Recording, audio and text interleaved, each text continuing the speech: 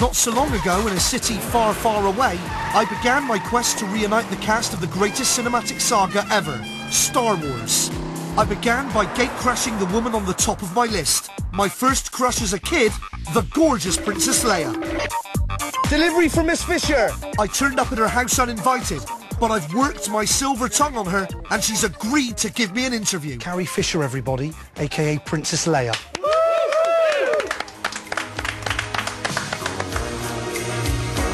Almost every actress in Hollywood read for the part of Leia, including Jodie Foster, Sissy Spacek, and even Badger Woman from Berlin, Terri Nunn.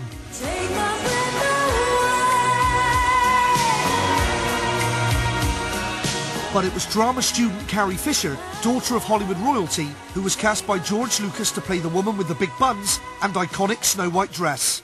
I don't know what you're talking about. But behind the innocent look was a plucky princess battling the evil empire. You are part of the Rebel Alliance and a traitor. Take her away!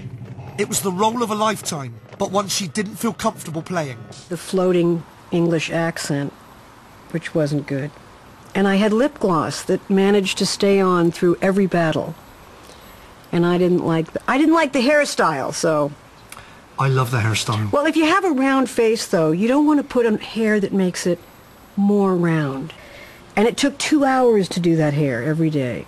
So, You had an incredible body and beautiful breasts well, thank you. that you were told to tape down. Is that right? I had to tape them down because they, there was no underwear in space. Who knows that though? George, He knows there's for no a under- fact. Well, it's true when you see the film of outer space of you know Venus, and they come back with the images.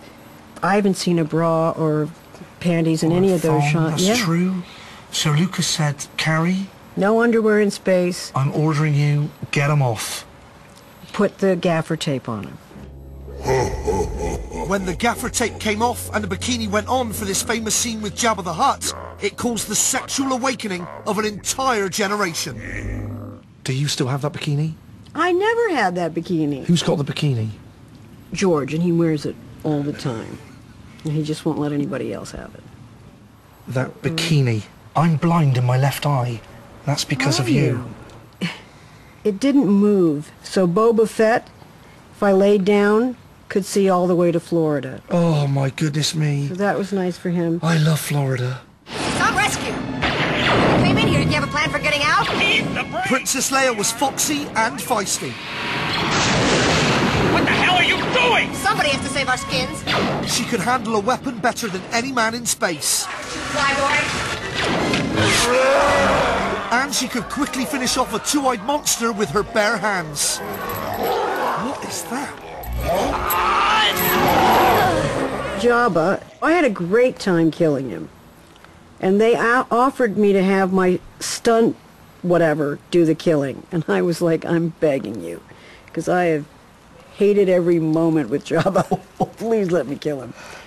I have placed information vital to the survival of the rebellion into the memory systems of this R2 unit. My Every father- major studio in Hollywood turned down Star Wars because the script left execs bewildered. it wasn't much different for the actors. Help me, Obi-Wan Kenobi. You're my only hope. The dialogue is weird, though, for anybody to say. I have placed information vital to the survival of the rebellion to the memory systems of this R2 unit. Uh, vital to the survival of the rebellion? It's not like English speaking. Governor Tarkin. I should have expected to find you holding Vader's leash. I recognized your foul stench when I was brought on board. Charming to the last. I thought I could come in and say, Governor Tarkin, you know, there was this smell when I got on board, and I thought it was you, and there... y-" And he came up to me and said, you know, you're really serious about this. This is really, really, you know, you're upset.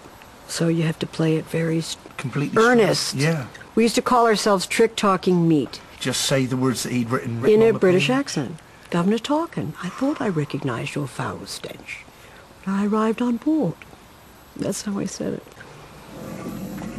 Your friend is quite a mercenary. I wonder if he really cares about anything.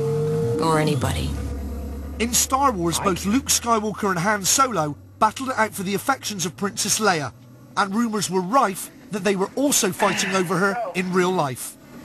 What do you think of her, hon? Trying not to, kid. Good. Still. Still out of spirit. I What do you think? Do you think a princess and a guy like me? No. I went on the film saying, I'm going to have an affair, like it was a kiwi or something. an exotic fruit, because I'd never had one. And did you have any exotic fruits? Oh, I can't tell you that. You can. You can tell me anything. I you know I can't. I had, uh, I think I had something that happened. You know, I had a crush on Harrison for sure. Oh. There you go. Did they compete for your affections? Harrison wouldn't have. I mean, Harrison. he wouldn't have a competition with Mark. It's, it's an uneven competition. You know what I'm saying? I know exactly Why would you're saying. Harrison? Why would he? Because he would be cool. Because on that front, Mark's win. He'd win. He'd win. He'd win. So it'd be mean to have a competition. Was he a cool guy, just out of character, just to hang out with Harrison Ford? Yeah, he he could be a lot of fun. He's great when he's had a few drinks.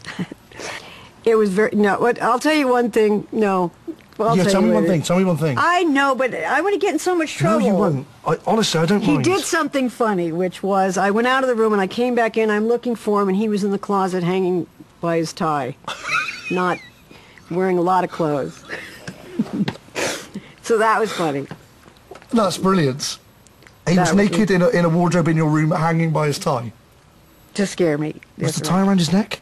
Yes, it was. Okay, that's good. Did you all get on? Well, you know, eh, there was some jealousy, I think. Um, you know, I have to be incredibly careful because this will come back and someone will call one of these people and say, Carrie said blah, blah, blah. Would you comment on that? And then I'll hear from people's, you know, Just say it. lawyers. You know, Harrison had this enormous career by, I don't know, was it the second one or the third one? But, and, and I think that was tough for Mark. Because maybe Mark looked at Harrison and thought, hang on a minute, I'm Luke Skywalker. I'm the one who it's the adventures of Luke Skywalker. How did this wasn't supposed to happen? It should be all about me. Is there anything that you got rid of that you wish you'd kept? Oh, tons of stuff now. I, I was given everything, and I got rid of it all. There, oh. that's the shampoo.